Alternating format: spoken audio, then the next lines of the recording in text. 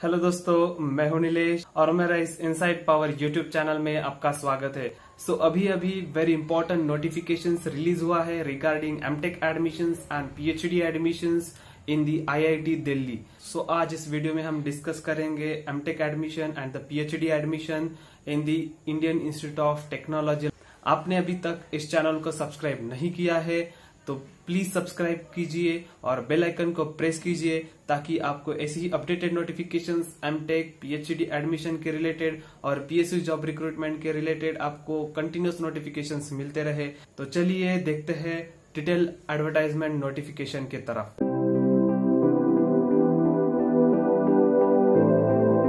जैसे कि मैंने कहा था अभी Indian institute of technology Delhi का एमटेक और पीएचडी का एडमिशन नोटिफिकेशन आया है। वो एप्लीकेशन फॉर्म 15 मार्च से फॉर्म फिल करने के लिए स्टार्ट हुआ है। तो आज चलिए अभी अब नोटिफिकेशन पे देखते हैं। तो ये शॉर्ट नोटिफिकेशन है पोस्ट ग्रेजुएट और पीएचडी प्रोग्राम्स 2021 और 2022 फ़र्स्ट सेमेस्टर के लिए। सो so, अभी पीएचडी के लिए ये वेरियस डिपार्टमेंट्स है। इसके लिए जो एडमिशन नोटिफिकेशन है वो आया है। आप देख सकते हो हो applied mechanics biochemical engineering and biotechnology chemical engineering chemistry civil engineering computer science and engineering design electrical engineering humanities and social science management studies इसके लिए एप्लीकेशंस आए हैं। सो पीएचडी के लिए ये सारे डिपार्टमेंट्स हैं। अभी जो सेंटर्स है, जो कि रिसर्च सेंटर्स रहते हैं, वहाँ पे भी वैकेंसीज है। Amarnath and Shashi Khosla school of information technology interdisciplinary research public policy in all departments PhD का एडमिशंस होने वाला है।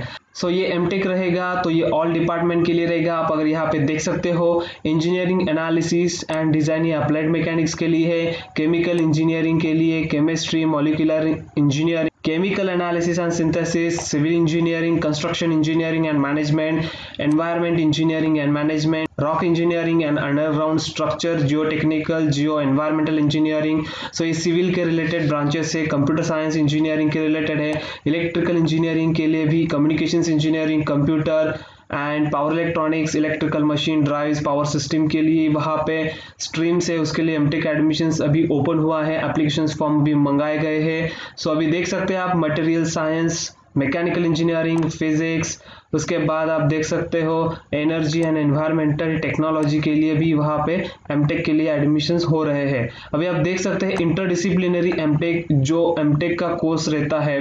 Interdisciplinary means the branches which having sub branches from the core branches so यहाँ पे energy studies है cyber security है तो ये सारे स्ट्रीम्स है। आप यहाँ पे देख सकते हो एम एस बाय रिसर्च के लिए भी यहाँ पे नोटिफिकेशन है। एम एस रिसर्च के लिए भी यहाँ पे एडमिशन का फॉर्म स्टार्ट हुआ है। सो यहाँ पे डिफरेंट स्ट्रीम्स दिए हैं।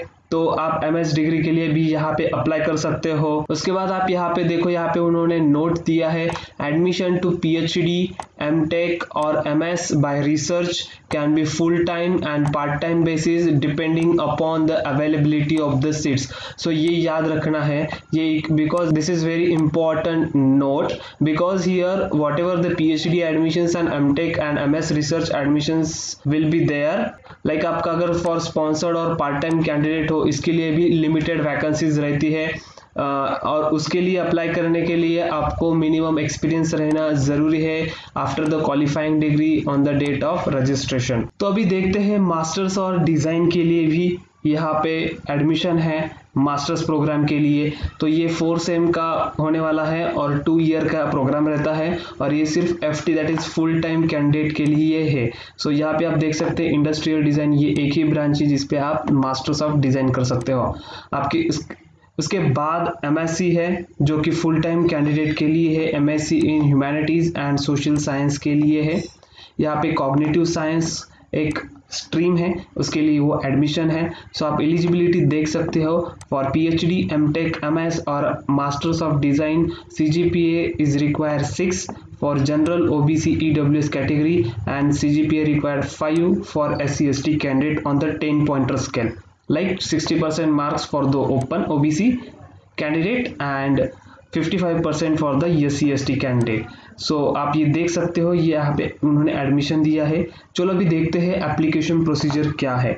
Submission of application is through online mode only so candidate not require to send any hard copy for the application form and the fee receipt online submission of application form is available on the institute website इस website पे जाके आप ये application fill कर सकते हो। यहाँ पे उन्होंने फ़ीस स्ट्रक्चर भी दिया है। जो फ़ी रहेगा एडमिशन के लिए वो टू हंड्रेड रुपीज़ रहेगा and for S C S T candidate के लिए उनको फिफ्टी रुपीज़ फ़ीस पे करना पड़ेगा।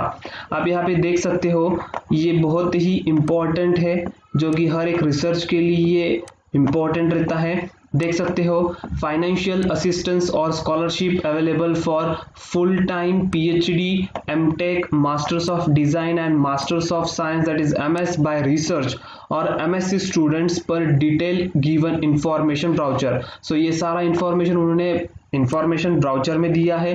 तो आप देख सकते हो पीएचडी के लिए थर्टी वन थाउज़ेंड जो स्टाइपेंड होता है, वो मिलता है। उसके बाद एमटेक और मास्टर्स प्रोग्राम के लिए आप देख सकते हो तो ट्वेल्व थाउज़ेंड फोर हंड्रेड ये स्टाइपेंड रहता है। So S C S T P W D students admitted to post graduate exempted from payment of tuition fee so उनको ट्यूशन फ़ी भरने की ज़रूरत नहीं है। सो so, यहाँ पे foreign national are not eligible to apply against this advertisement so आप यहाँ पे देख सकते हो इंपॉर्टेंट डेट दिया है। Submission of online application which will be comings on 15 March 12 noon say last date for the submission of online application will be वो 24 अप्रैल 2021 सो so, आप ये याद रखना this is the last date before that you have to fill the application form so इस advertisement से आप देख सकते हो कि गेट का रिज़ल्ट भी जल्दी से जल्दी आने वाला है। और आपने अभी तक इस चैनल को सब्सक्राइब नहीं किया है तो प्लीज़ सब्सक्राइब दिस चैनल ताकि आपको ऐसे ही M tech P H D programmes admission के रिलेटेड आपको अपडेटेड नोटिफिकेशन मिलते रहे।